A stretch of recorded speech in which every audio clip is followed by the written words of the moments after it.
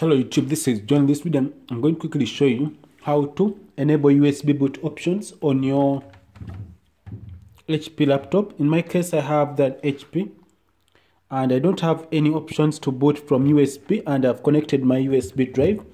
So first of all, I'm in the boot menu and this is what I've done. I've clicked on F9 to go to the boot menu.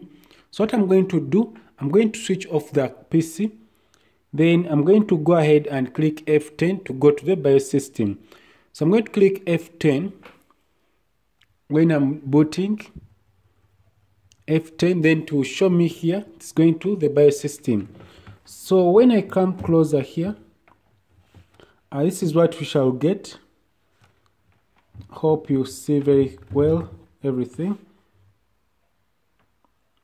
So this is where we are right now. So I want you to go ahead and click, sorry about that, to click the right arrow key. That we go to system configurations. Then you go ahead and click on boot options down and then click enter. Then this will bring you something that looks like this. So when you're here, I want you to take a close look here, we have legacy support, which is disabled. So I want you to go ahead and eh, click the down arrow key and go ahead and enable it. Then after enabling it, you have to go ahead and save changes.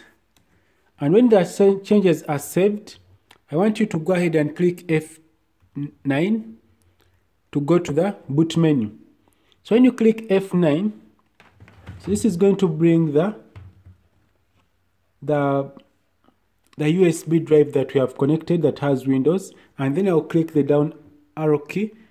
Then I'll select this because this is the one that has Windows. Then I'll click enter. So this is going to ask me to click any key. I'll click enter also. And this is going to start loading Windows files from the computer. And this will take a few seconds uh, from now uh, this is how you USB boot your HP laptops and this would work on any other HP.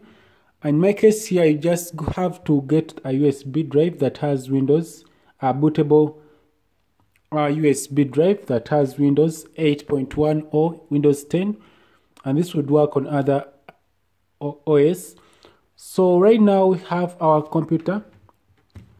Uh, it has boot via USB with Windows and this is where we're going to stop. I want you to watch a video on how to to boot uh, your HP laptop in case uh, other HP laptops. So in my case I'm going to stop from here and this is how you can boot from USB on any HP laptop. So thanks for watching. Have a nice time. Goodbye.